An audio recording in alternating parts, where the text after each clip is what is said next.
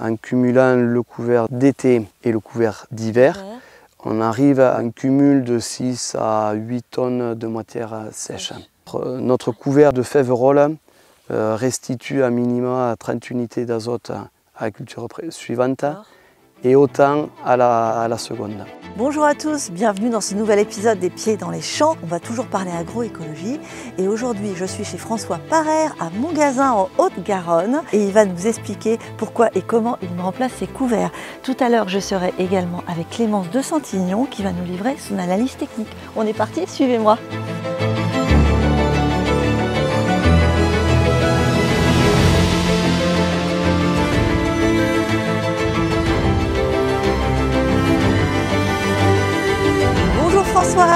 Bonjour Stéphanie.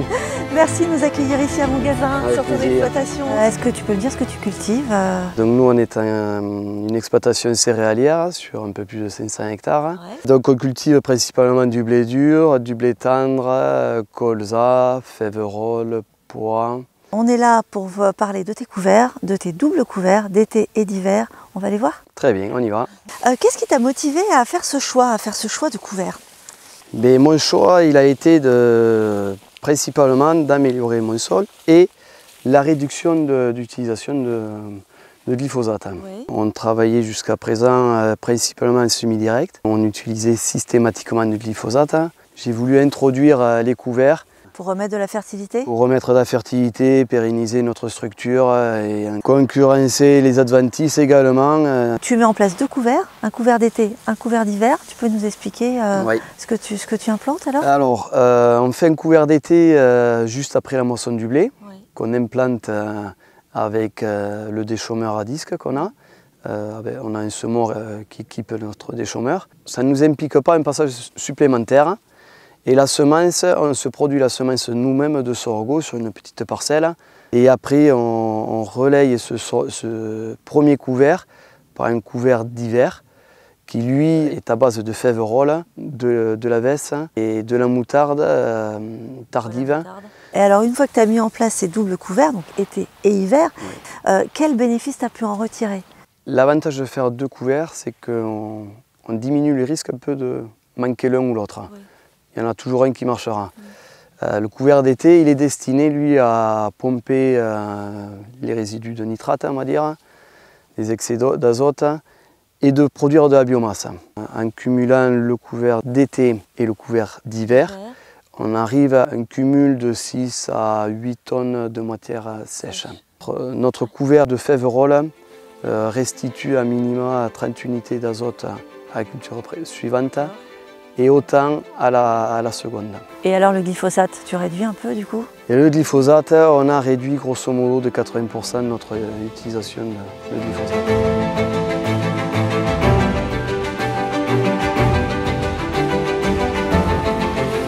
Bonjour Clémence. Bonjour François, comment vas-tu? Et toi? Très bien. Qu'est-ce que tu peux nous euh, dire de cette pratique euh, que tu fais de double couvert? On fait du double couvert depuis trois bonnes campagnes. Ça nous permet de capter l'azote, les résidus d'azote sur les, cultures euh, précédentes de, blé donc. Et euh, par ce biais, ça nous fait euh, pas mal de biomasse en principe. Là, on va bientôt procéder à la, destruction. Tu te donnes quoi comme date objectif pour la destruction? Avant fin septembre. D'accord. Et dans la foulée, on va implanter notre couvert d'hiver. Et dans cette pratique, Comment tu fais pour minimiser euh, le coût de tes couverts, qui est souvent euh, le point euh, important? Je produis ma propre semence, notamment pour le sorgho fourragé, parce que le sorgho fourragé, étant donné qu'on l'implante après la moisson, on le sème avec un déchômeur à disque. la réussite dépend du climat. S'il pleut, on a du couvert. Mhm. S'il ne pleut pas, pas de couvert. Donc il faut que ça coûte pas cher. Et pour euh, le couvert d'hiver, ben, on se produit également notre féverolle, l'espèce majoritaire du mélange. Ça revient à peu près à combien? La féverolle, une quarantaine d'euros à l'hectare en se produisant sa propre semence. Le sorgho fourragé le condamne 1 à 2 hectares de la surface. Et à ça, il faut rajouter la moutarde et la veste, compter une trentaine d'euros, je pense, euh, à la louche supplémentaire. Donc François, ce euh, coût de semence est quand même maîtrisé. Quels sont les autres avantages que tu vois? Le gros avantage, c'est que bon, notre couvert il a un certain coût, mais euh, il est rentabilisé par les économies d'engrais qu'on fait derrière. Donc François, si on revient maintenant sur la période de la destruction, qui est un moment clé sur la gestion des couverts, est-ce que tu peux nous expliquer l'évolution que tu as eue sur euh, la destruction? Est-ce que tu as changé de matériel? Et aujourd'hui comment tu fais? Pour la destruction du couvert d'hiver, plusieurs méthodes. On a essayé d'abord la méthode avec les rouleaux, euh, rouleaux hacheurs simples, plombés.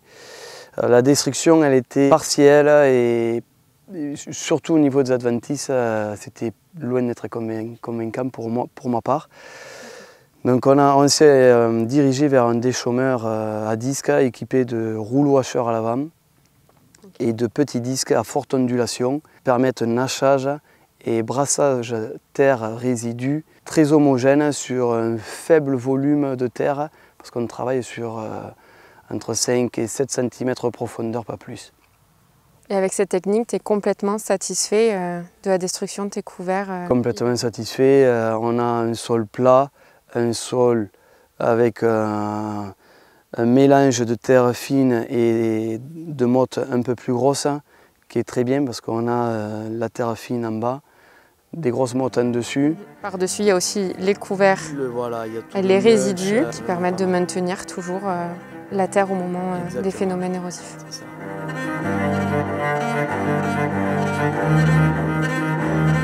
Alors Clémence, euh, donc on a vu euh, comment et pourquoi François a implanté des couverts. Est-ce que tu peux me dire si on a pu faire une évaluation? Chez François, on a mis en place une méthode donc avec les outils de Biofond Tool. Mhm. Et on a pu mesurer la stabilité des agrégats du sol, et donc je peux te dire que oui, Ça il y a une euh, amélioration euh, de la structure euh, du sol. Merci beaucoup Clémence de m'avoir suivi ici sur les parcelles de François. Merci Stéphanie. À très bientôt. À bientôt. Et voilà, c'est fini. Merci à tous de nous avoir suivis chez François Parer à Montgazin. N'oubliez pas, vous pouvez liker et commenter la vidéo. Nous nous ferons un plaisir d'y répondre. Et je vous dis à très bientôt pour un prochain épisode des Pieds dans les champs.